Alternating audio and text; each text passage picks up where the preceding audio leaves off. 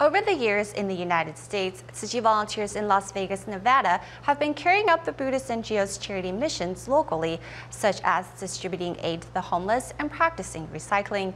Recently, the volunteers held a blessing ceremony for non-Chinese speaking guests for the first time in the chapter's history, as they hope to inspire even more like-minded individuals to join their ranks.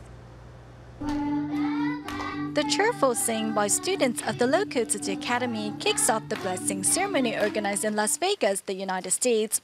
For the first time, a blessing ceremony here is being held in English. The event saw the participation of 60 people. A Tzu volunteer explains to participants how the Buddhist NGO's charity mission first started with 30 housewives contributing a few cents from their daily grocery money. Now, nearly 50 years later, the presence at Tzu Chi Volunteers can be seen worldwide. It's very touching and very moving to see how one woman started a worldwide giving program and I'm just honored to be here and I'm honored to participate in this ceremony and I look forward to doing more in the future. Uh, it gives you an idea of what they are doing and what they're doing is amazing.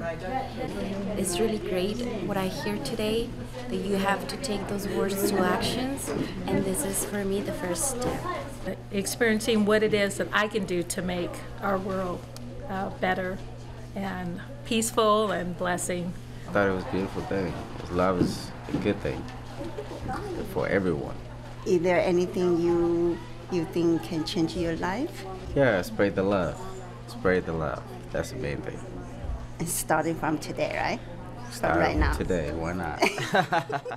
Guests happily received Tzu blessing and wisdom red envelopes from the volunteers.